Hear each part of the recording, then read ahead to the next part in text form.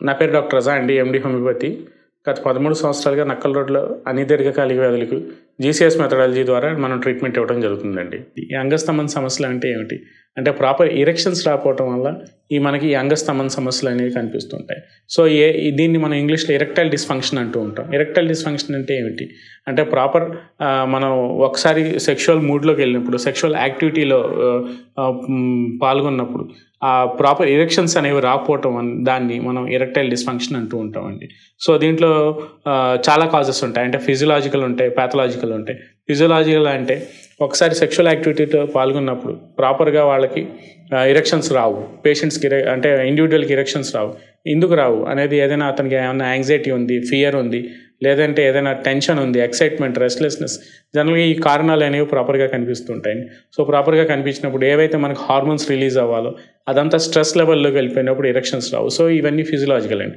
So దీన్ని మనం erectile డిస్ఫంక్షన్ని మనం ప్రాపర్గా కౌన్సిలింగ్ ఇచ్చి సైకోథెరపీ ద్వారా వాళ్ళకు టూ టు త్రీ మంత్స్ మనం ట్రీట్మెంట్ ఇవ్వగలిగినప్పుడు డెఫినెట్గా ఓన్లీ సైకలాజికల్ ఆస్పెక్ట్స్లో నేను వాళ్ళని బూస్టప్ చేయగలిగి దాంతోపాటు మనం మెడిసిన్స్ ఇవ్వగలిగితే డెఫినెట్గా ఫిజియలాజికల్ కండిషన్స్ అయితే డెఫినెట్గా రూల్ అవుట్ ఇవాల్యుయేట్ అయిపోతాయి పాథలాజికల్ కాజెస్ అంటే ఏదైనా డిసీజ్ అండర్లయింగ్ ఆస్పెక్ట్ ఉన్నప్పుడు ఎరెక్టైల్ డిస్ఫంక్షన్స్ అనేవి కనిపిస్తూ ఉంటాయి. సో ఎరెక్టైల్ డిస్ఫంక్షన్స్ అనేవి ప్యాథలాజికల్ అంటే ఏంటి? ఏదైనా ఒక వ్యాధితో సఫర్ అవుతున్నప్పుడు అంటే కొంతమందికి టెస్టోస్టిరోన్ లెవెల్స్ బాగా తక్కువ ఉంటాయి అంటే బిలో నార్మల్ అంటే సబ్ నార్మల్ కొంతమందికి బాగా అబ్నార్మల్గా తగ్గిపోయి ఉంటాయి సో ఎప్పుడైతే టెస్టోస్టిరాన్ లెవెల్స్ తగ్గిపోతాయో ఆ ప్రాపర్ హార్మోన్ అనేది sexual hormone male sexual hormone is testosterone అని దాంతో మనకి ఈ అంగస్తంభన సమస్యలు అనేవి కనిపిస్తుంటాయి అంటే ఎందుకు మనకి టెస్టోస్టిరాన్ రిలీజ్ అవ్వట్లేదు.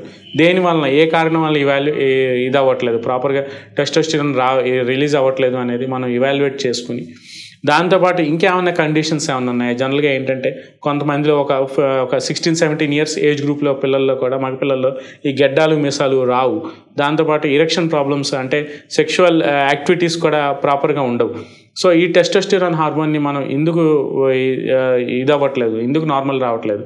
అంటే they have a feminine look అంటే అంటే జనరల్గా ఆడవాళ్ళ యొక్క ఫిమేల్ టెండెన్సీ అనేది మేల్స్లో ఎక్కువ కనిపిస్తూ ఉంటుంది. అంటే ఫెమినైన్ వాయిస్ ఉండి ఈ బియర్డ్ మౌస్టేజ్ రాకపోవటం జనరల్గా సాఫ్ట్ స్కిన్ ఉండటం ఇరెక్షన్స్ అనేవి ప్రాపర్గా రాకపోవటం ఈ టెస్టోస్టిరాన్లో వచ్చే ప్రాబ్లమ్స్ సో దాన్ని మనం టెస్టోస్టిరాన్ లెవెల్ని ఇంప్రూవ్ చేయగలిగితే అంటే జీసీఎస్ థెరపీ ద్వారా ఎందుకు ఇది అవ్వట్లేదు అనేది చూసి డెఫినెట్గా హోమియోపతిలో ఈ టెస్టోస్టిరాన్ హార్మోన్ని ఇంప్రూవ్ చేయడానికి డెఫినెట్గా వీ హ్యావ్ బ్యూటిఫుల్ మెడిసిన్స్ అండి.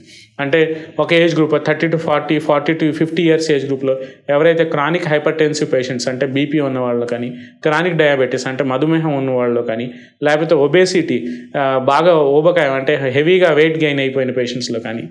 ఫిజికల్ యాక్టివిటీ అంటే irregular life style irregular habits exercise irregular అంటే ఎక్సర్సైజ్ లేని వాళ్ళలో కానీ లేకపోతే ఫుడ్ హ్యాబిట్స్ అంటే కంటిన్యూస్గా కొంతమందికి అదే పనిగా జంక్ ఫుడ్ కానీ స్వీట్స్ కానీ ఎక్కువ ఆయిలీ ఫుడ్ కానీ ఘీ కానీ కార్బోహైడ్రేట్ ఫుడ్ కానీ ఎక్కువ ఈ మన cholesterol levels bad cholesterol levels lipids అనేవి బాగా అబ్నార్మల్గా పెరిగిపోయిన పేషెంట్స్లో కానీ. ఇట్లాంటి వాళ్ళలో మనకి డెఫినెట్గా టూ హండ్రెడ్ పర్సెంట్ మనకి ఈరెక్షన్ ప్రాబ్లం ఈ అంగస్తంభన సమస్యలు అనేవి కామన్గా కనిపిస్తూ ఉంటాయండి. ఫస్ట్ మనం ఈ అంగస్తంభన సమస్యలని ఏదో మనం అక్కడ ఆ ఎరెక్షన్ ప్రాబ్లంకి మనం ఏదో మెడిసిన్ ట్రీట్మెంట్ ఇస్తున్నాము ఇచ్చాము అన్నట్టు కాకుండా అండర్లయింగ్ ప్యాథలాజికల్ కాజ్ ఏదైతే ఉందో ఫస్ట్ దాన్ని మనం బ్యాలెన్స్ చేయగలిగింది అంటే కొలెస్ట్రాల్ లెవెల్స్ ఇప్పుడు సపోజ్ ట్రైగ్లిసరైడ్స్ బాగా పెరిగినాయి హెచ్గా ఉన్నాయి. లేకపోతే కొ- మనకి ఎల్డిఎల్ విఎల్డిఎల్ కొలెస్ట్రాల్ అంటే బ్యాడ్ కొలెస్ట్రాల్ ఎక్కువ ఉంది. రక్తనాళాల్లో ఎప్పుడైతే మనకి కొవ్వు పదార్థం అనేది కొలెస్ట్రాల్ డిపాజిట్స్ అనేవి ఎథ్రోమాటస్ ప్లేక్స్ అనేవి పెరుగుతాయో బ్లడ్ సర్క్యులేషన్ ఆటోమేటిక్గా తగ్గిపోయినప్పుడు ఫస్ట్ దాంట్లో మనకి కార్డియోవాస్కులర్ అటాక్స్ రావటం లేకపోతే బ్రెయిన్ ప్రాబ్లమ్స్ అంటే హెర్బ్ర సెర్బ్రల్ హెమరేజ్ రావటం లేకపోతే సెక్షువల్ ప్రాబ్లమ్స్ ఇవన్నీ ఇనీషియల్ స్టేజెస్లో ఇనీషియల్ స్టేజ్లో మనకు కనిపించేదే సెక్షువల్ ప్రాబ్లం అంటే ప్రాపర్ ఇరెక్ట్ ఇరెక్షన్స్ రాకపోవటం. సో మనకు ఈ మనకి ఈ దీన్ని మనం అండర్లయింగ్ ప్యాథలాజికల్ కాజ్ని మనం ట్రీట్మెంట్ ఇచ్చుకుంటూ ఇరెక్షన్ ప్రాబ్లం మనం క్యూర్ చేయగలిగితే హోమియోపతి ద్వారా మనం డెఫినెట్గా ఈ ఎరెక్షన్ అంగస్తంభన సమస్యలు అనేది thirty to fifty years age గ్రూప్లో వాళ్ళు కూడా మనం వీ హ్యావ్ బ్యూటిఫుల్ రిజల్ట్స్ అండి. అంటే ఫస్ట్ వాళ్ళకి చెప్పగలగాలి. అంటే blood circulation to the particular part తగ్గిపోవటం వల్ల మనకి ఎరక్షన్ రావట్లేదు. అంటే ఇప్పుడు ఈ ఈ ఇర్రెగ్యులర్ ఎక్సర్సైజెస్ వల్ల కానీ అంటే నాట్ ఓన్లీ మెడికేషన్ అంటే అంటే దీంట్లో ఫిజికల్ యాక్టివిటీ కూడా చాలా ముఖ్యం. అంటే ప్రాపర్ ఎక్సర్సైజెస్ చేయటం జిమ్కి వెళ్ళటం వెయిట్ లాస్ అవ్వటం డయాబెటీస్ ఏమైనా ఉంటే షుగర్ లెవెల్స్ ఎలా ఉన్నాయి వాటిని ఒకవేళ డయాబెటిక్ పేషెంట్ అయితే షుగర్ లెవెల్స్ని కంట్రోల్ చేయగలగటం. కొంతమందికి అన్కంట్రోల్డ్ హైపర్ టెన్షన్ ఉంటుంది. అంటే వితౌట్ మెడిసిన్స్ ఉంటారు వాళ్ళు.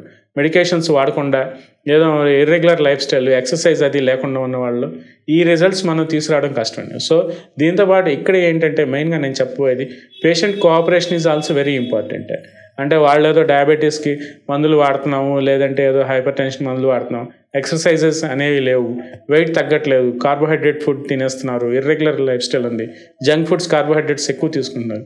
అంటే ముందు అవన్నీ కంట్రోల్ చేసుకుని దాంతోపాటు medication as per the doctor's advise వాడి మనం ఈ ప్రాబ్లం ఏదైతే ఉందో దాంట్లో మనం ఇంప్రూవ్మెంట్ తీసుకురావడానికి హండ్రెడ్ పర్సెంట్ ఛాన్స్ ఉంటుందండి.